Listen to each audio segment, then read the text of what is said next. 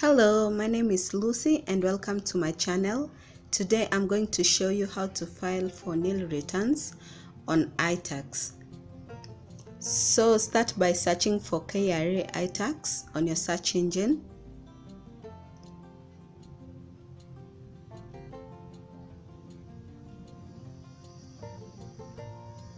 And then click on it. On the portal, enter your PIN number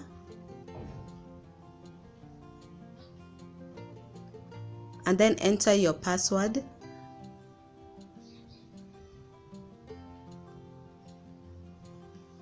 Then do the simple arithmetic and then click login.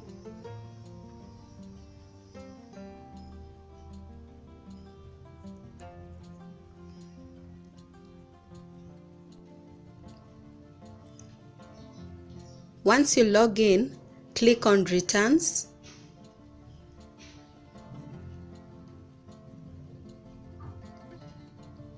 Then in the drop down menu, select file nil return.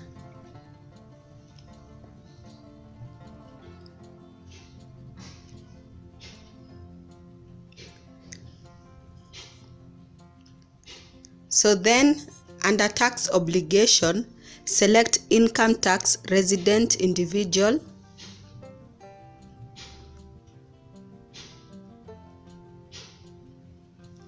And then click next.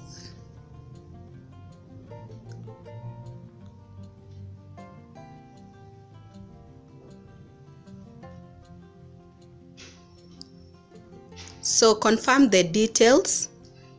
After you confirm the dates then click submit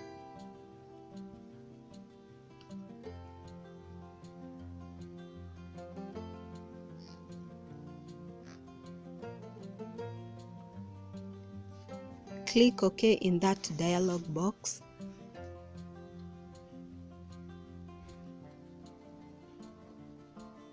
So you can choose to participate or not to participate in that survey. If you don't want to, you can just close it. And then now you can download your returns receipt. And that's it. So thank you for watching. If you like this video, don't forget to share, to like and to subscribe.